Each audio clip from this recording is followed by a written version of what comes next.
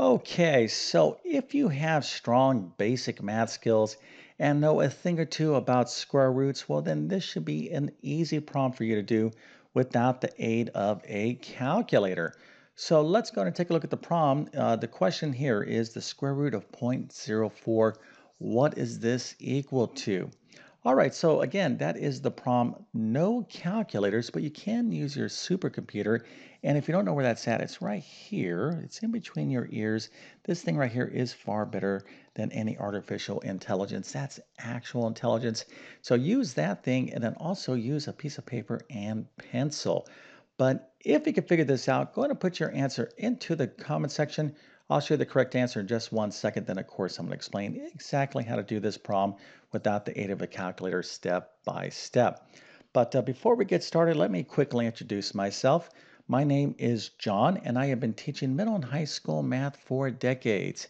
And if you need assistance in learning mathematics, check out my math help program at tcmathacademy.com. You can find a link to that in the description below. And if this video helps you out, or if you just enjoy this content, make sure to like and subscribe as that definitely helps me out. Okay, so the square root of 0.04, what is this equal to? Well, the correct answer is 1 fifth.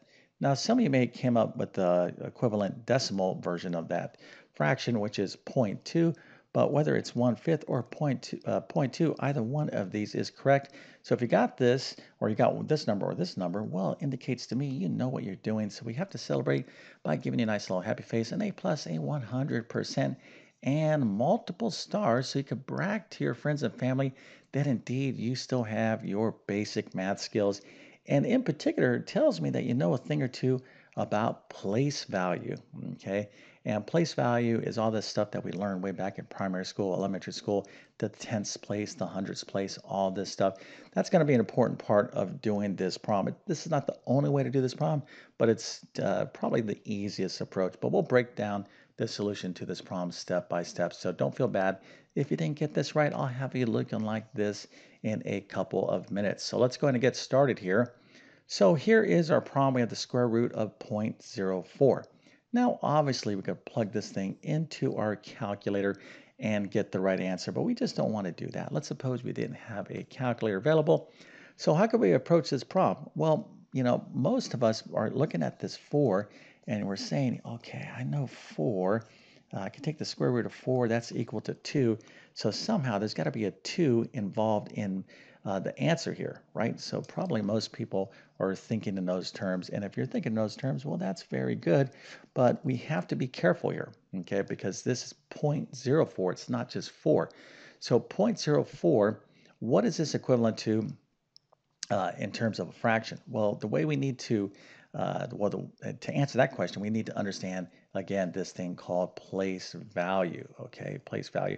Now, most of you, okay, I suspect, probably approach doing this problem like this without the aid of a calculator. If you took another approach and, and uh, uh, you understood the approach and it was mathematically correct and you got the right answer, well, then that's fine as well.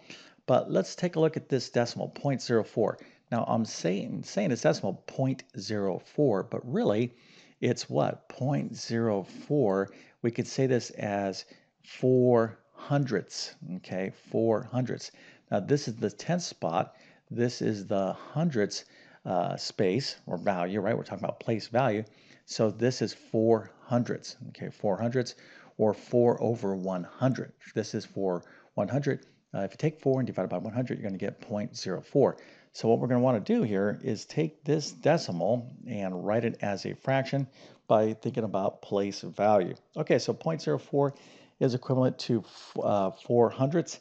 Now, the question is we want to take the square root of uh, 0.04 or 4 hundredths. All right, so how do we do that? Well, we just simply take the square root of this. So the square root of 0.04, okay, is going to be uh, equal to us taking the square root of 4 hundredths. Okay, so square root of 0.04 is uh, the same thing, the same value as the square root of 4 of one, over 100. And now here, this is where we get to show off our knowledge of square roots because we have the square root of 4 over 100. And if we know a thing or two about square roots, this problem becomes very easy to do. So let's go and take the next step, which of course is having you quickly subscribe to my YouTube channel. I definitely need your support. Um, you know, I make endless videos. Matter of fact, I've been on YouTube for 10 plus years. I have well over 2,000 plus math videos from basic math to advanced math. I make all this content for you, but I need your support so I can help as many people as I possibly can. So just hit that subscribe button. And if you're going to do that, you might as well hit that notification bell as well so you can get my latest videos. Okay, so let's get back to this problem. And here's the remainder of the problem. This is not that difficult. Of course, we need to understand place value, that the square root of 0.04 is equal to the square root of 4 hundredths, or 4 over 100. Okay, so the square root of 4 over 100, well, what do we need to do here? Well, there is a property of square roots that basically stay, uh, states that when we're taking the square root of a fraction, uh, a fraction has a numerator and denominator, and we're taking the square root of this entire fraction, it's equivalent of, um, it's the same thing and equivalent as us taking the square root of the numerator and the square root of the denominator. So the square root of 4 over 100 is equal to the square root of 4 over the square root of 100. This is a property of square roots. And this is awesome because we're like, yay, yay.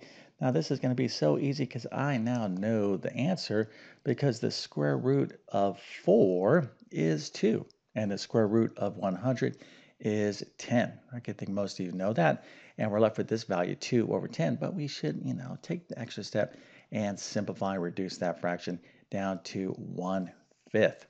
Okay, so that's how you do this little problem. Don't feel bad if you didn't get this right. My videos are not intended to make anyone feel bad.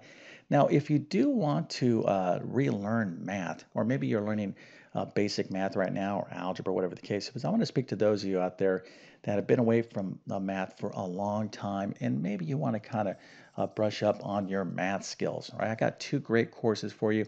My first course is called my Math Foundations course. That's a little kind of um, a short course on basic math. I cover place value, how to add, subtract, multiply, divide, decimals, all this, just the basic stuff, uh, percent, fractions.